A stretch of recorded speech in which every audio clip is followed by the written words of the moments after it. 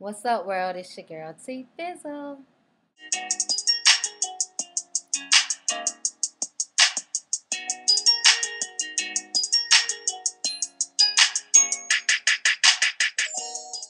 Okay, so I have been sent a lot of emails. People keep sending me shared videos concerning a particular YouTuber that I guess I'm subscribed to. I didn't want to make this video, and I really hesitated on if I even want to get involved in this whole bullshit because to me that's what it is. Um, but I decided to because one, I'm just really tired of the same eight people sending me every response that somebody has to say to this lady. Um, and yes, I'm talking about Blaqueindigo. Um, I've been subscribed to Blaqueindigo now. I think ever since I came on YouTube, which was like in 08. Um, I ran across a few of her videos and I enjoyed them. And I felt like she was a really positive um, black woman and she had like a lot of knowledge. You know what I'm saying? She had like a she had a lot of knowledge of herself. She was into natural hair and things like that. Sometimes she kind of came off a little bit harsh and judgmental, but I took it as whatever. That's her personality. If I didn't like her, I didn't have to watch her videos. So yes, I subscribed to Blaqueindigo.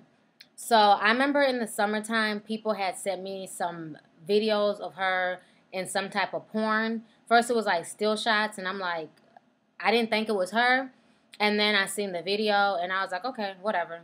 Next, don't got shit to do with me. Left it alone. So I guess she finally made a video the other day because I guess these videos have been circulating the internet. Her doing, she was an extra in a porn video for the Dancing Bears. Um, that alone confuses me because I've never even heard of this type of porn. I've never even heard of like the man puts on a bear costume and he shakes his stuff in women's face and these women do all types of sexual stuff to him. And I'm not gonna go into details because I have young people on my channel. But um, I've never even heard of this type of porn, so I'm kind of curious as to who found this porn video. What man was looking up this type of porn is what I'm kind of curious. Unless it was a woman who found it I mean, I don't know. That's the part that kind of baffles me how this even got out. But with that being said, this is how I feel about the situation. I don't care what nobody has to say about it. I'm, what I'm not going to do is go back and forth with a bunch of black women hating men. I'm not going to do that. My channel is not for that. Um, if you're just strictly coming on here to tell me how ugly I am or how fat I am and how stupid I am because I'm a black woman, your ass will be blocked, point blank, period. Anyway, so when I saw her explanation video, I sat down and I watched it, and I was kind of surprised because to me, I'm a grown woman, and I feel like honestly, she doesn't need to explain herself to anyone on YouTube, to anybody, because we're all grown. But me being an empathetic person, I can put myself in the in the footsteps of a child or of a man or of somebody who I guess held her on this pedestal. A lot of teenagers and young girls looked up to her.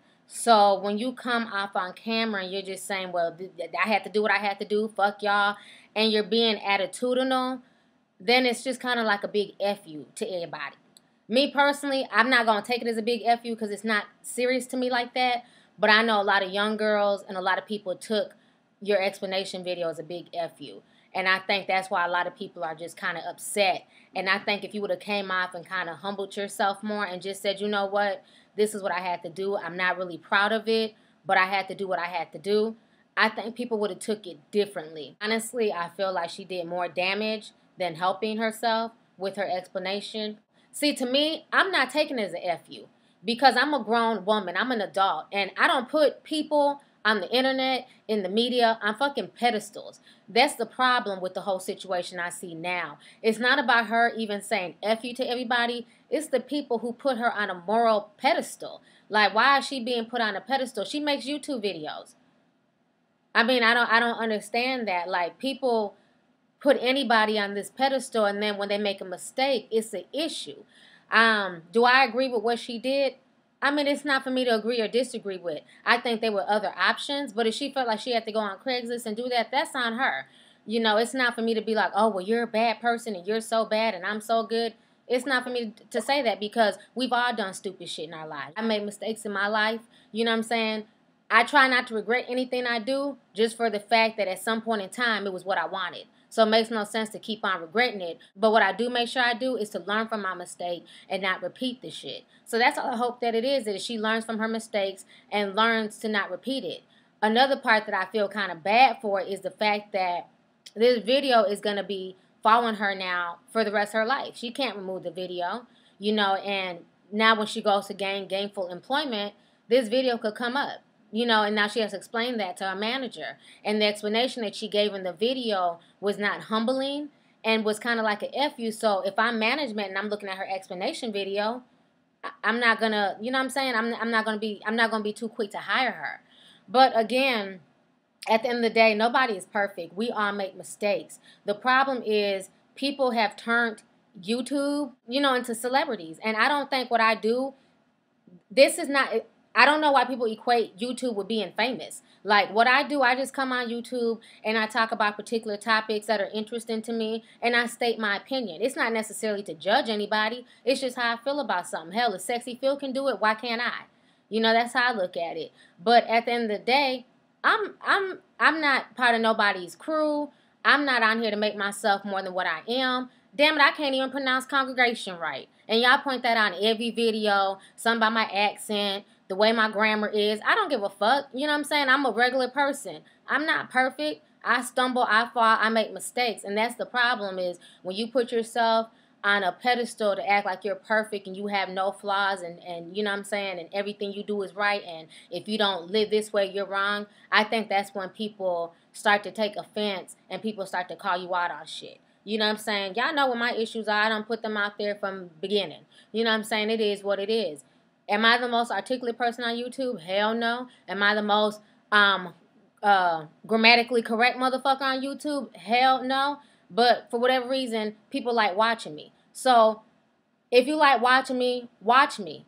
Don't put me on no pedestal and when I fall, you throw this shit back in my face like y'all did Blaqueindigo.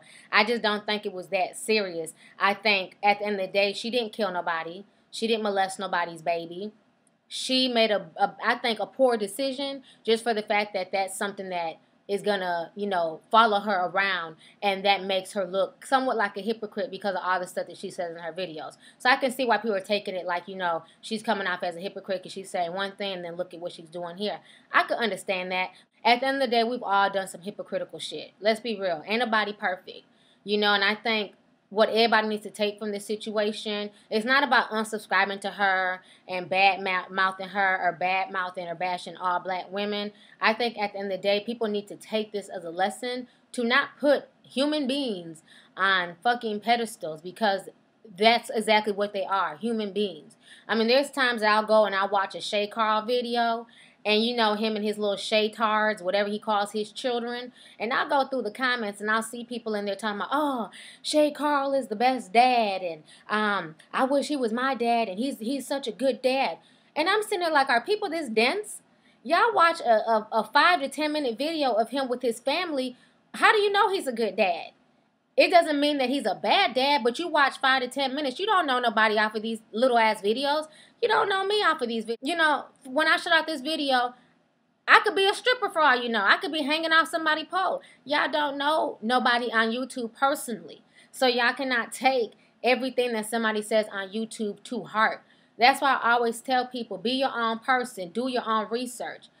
A person on YouTube can make a video and be like, hey, smear baby shit on your forehead and your hair will grow to the middle of your back.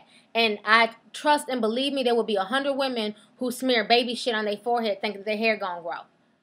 Just because somebody says so. Just because somebody says something don't mean nothing. At the end of the day, they are human beings. Five, ten minute video clips does not mirror a person's life. You don't know that person outside of YouTube. You don't know me once I turn off this camera. There's shit I'm going through in my personal life that's very personal. I'm on certain medications I have to take every day. You know what I'm saying? Because I'm going through a lot of health shit.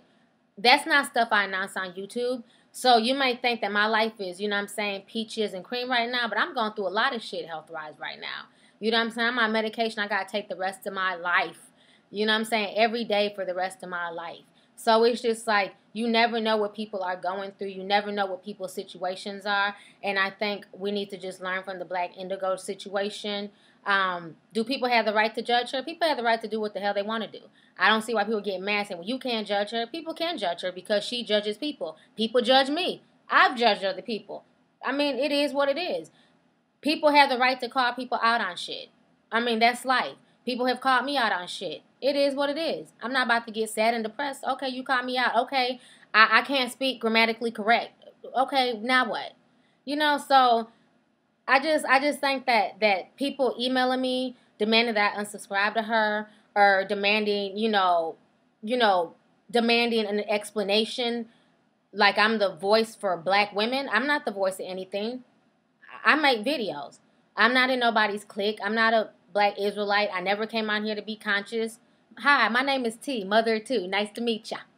You know what I'm saying? I just make videos, so please don't email me about, you know, you you're demanding an explanation for for another woman's actions. I don't have nothing to do with that. Please don't email me telling me that I that you demand that I unsubscribe to somebody.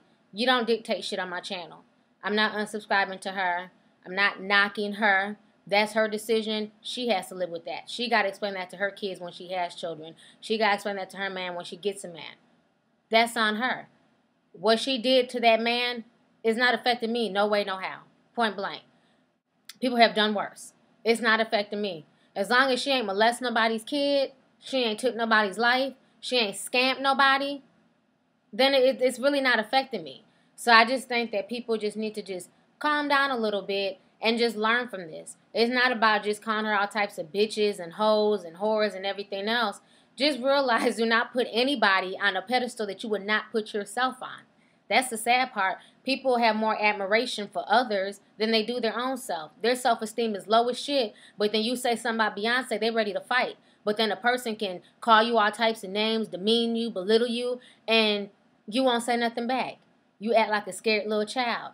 You can be in an abusive relationship, getting abused by a man, and he's he's down on you about your size, your hair, your skin tone, whatever it is, and you'll accept that. But then somebody bashes your favorite celebrity, you ready to have an internet war.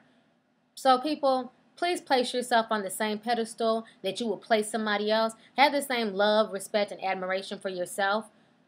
And stop putting people on YouTube or people in the media on some type of pedestal. These are just people. You don't know us. We're on here for five to ten minutes just talking. Just just talking. We may live the lifestyle that we're talking about, and we may not. You don't know. I may be a vegetarian, I may not. You don't know. You don't have to take my word for it. I don't know Blaqueindigo from a jar of jelly. I've never spoken to her. I've been a subscriber of her for a long time, but I've never had a conversation with her. I've never emailed her, nothing like that. I just like her videos. I'm still going to continue to like her videos. So I don't know, man. I just wanted to just kind of make this video. It's not really a rant, and maybe I got off topic. Maybe I don't even make any sense, but I don't know. Just my opinion. Mm. Deuces.